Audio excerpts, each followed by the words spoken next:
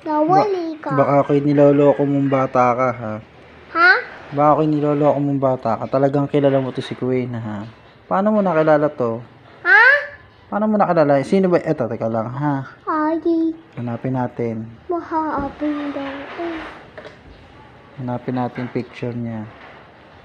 kakusin. Ayan, sino yan? Ha? Sino yan?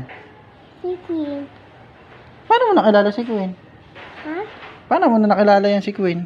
Hindi na. Oh. Ano lang. Maalis sa work doon. Naka- Paano?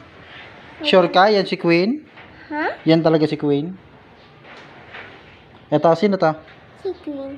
Paano mo na nasabing yun si Queen? Sa Queen sabi to Queen. Ah, nag, nag, ano siya, nag-selfie? Sa sabedo.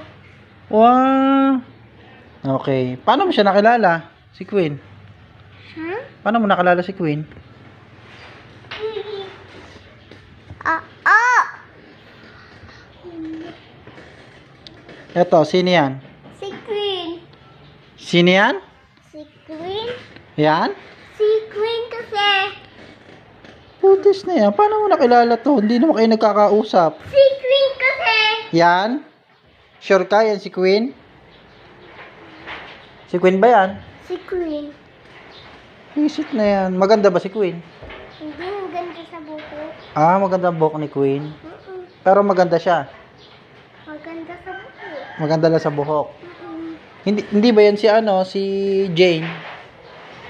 Hindi si James Queen yun. Si Queen ta? Mm-mm. Walang joke ka. Saan mo nakakausap si Queen? Hindi ka na nagka- nakakausap mo ba si Queen? Ito, yan.